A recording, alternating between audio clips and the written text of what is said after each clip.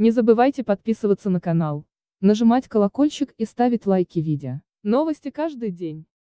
Друзья, трагические новости. В ночь на 8 июля 2020 года ушел из жизни известный казахстанский актер, деятель кино и театра Дарахан Дайрбек. Об этом на своей странице в Инстаграм сообщил режиссер Нуртас Адамбай. Сегодня ночью скончался наш замечательный актер Дарахан Дайрбек. Наша студия выражает свои глубокие соболезнования всем родным и близким. Дархан Ага всегда был очень веселым и добрым. Таким мы его и запомним. Даки, спасибо вам за все ваши роли, за ваши отношения отношение к работе к людям, написал Нуртас Адамбай. Смерть актера подтвердил Tengrinews, Казахский государственный академический театр для детей и юношества имени Габита Мусрепова, где он работал. Коллеги уточнили, что в последние дни он не мог самостоятельно дышать и находился в реанимации. Наша студия выражает свои глубокие соболезнования всем родным и близким. Дархан Ага всегда был очень веселым и добрым, таким мы его и запомним. Даке, спасибо вам за все ваши роли, за ваше отношение к работе и к людям, написал Нуртас Адамбаев, у которого Дайрбек сыграл в фильмах «Келинка Сабина 2» 2015 и «Аким» 2019.